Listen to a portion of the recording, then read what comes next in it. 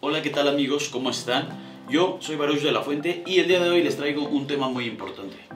¿Cuál es la mejor alimentación para nuestro mascota, en este caso para nuestro perro? Como ya es bien sabido, en el mercado hay bastantes tipos de producto, alimentos, eh, energéticos, proteínas para nuestras mascotas que no son lo mejor, lo único que tienen es publicidad. Eso lo tienes que aprender bien y también es muy bueno que tú consultes a tu veterinario para ver qué proteínas, grasas, carbohidratos, etcétera necesita tu mascota, porque no es lo mismo lo que necesita un chihuahua que lo que necesita un San Bernardo. Por eso, bastantes marcas de croquetas ya manejan la línea especial para la raza, pero independientemente de esto, hay ciertos perros que tienen problemas y hay latas especiales o alimentos especiales para estos perritos que sufren de algún problema gastrointestinal o que no tienen las suficientes proteínas, aunque el alimento tenga las proteínas adecuadas. Entonces, todo esto es muy importante para que tú puedas tener una decisión sobre qué alimento elegir. Yo te voy a hablar de los mejores tres alimentos que he probado en mis mascotas, así que te voy a hablar un poco de ellos, cómo fue que los conocí y por qué es que yo te los recomiendo. Bueno, y a la croqueta Exit le voy a poner dos palomitas en precio y dos en calidad porque el precio no es tan alto, pero la calidad no es sumamente buena. Bueno, y del primer alimento que les voy a hablar es del Exit.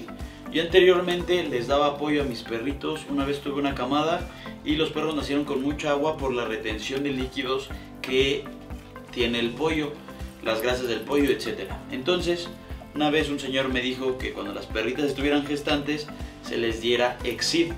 Esta croqueta no es de un valor muy alto, aproximadamente cuesta mil pesos el bulto, es de 20 kilos, pero la verdad es muy buena porque tiene muchas proteínas y los carbohidratos necesarios. Es una croqueta media, pero la verdad es muy buena, la recomiendo si tu presupuesto no es tan alto. Entonces este sería el primer alimento que yo recomendaría. Como les comento, no lo tengo aquí el bulto porque ahorita no tengo ninguna hembra gestante, pero aquí les voy a poner una imagen, es de color rosa el bulto y les digo cuesta como mil pesos, lo he visto en el Sams y en la comercial mexicana.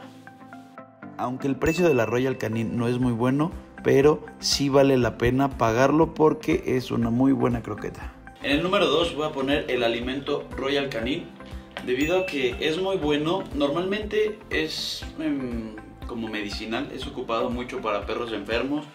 Existe la lata de, de Royal Canin, la Recovery, que es para perros enfermos.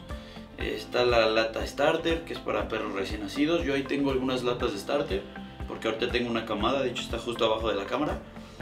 Eh, hay alimento especial para Bulldog, para Pastor Alemán, para San Bernardo, etc. Tienen bastantes tipos de, de alimentos para determinados perros y para, en caso de que tu raza no esté, tienen alimentos de talla para perros de talla grande, perros de talla mediana y perros de talla chica.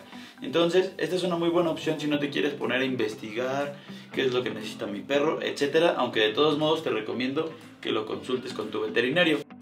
Y aunque el precio de la Taste of the Wild sí es bastante alto, es la croqueta que más te recomiendo debido a sus altos niveles de proteína y sus bajos niveles de cereales y gluten. Y el número uno voy a poner Taste of the Wild.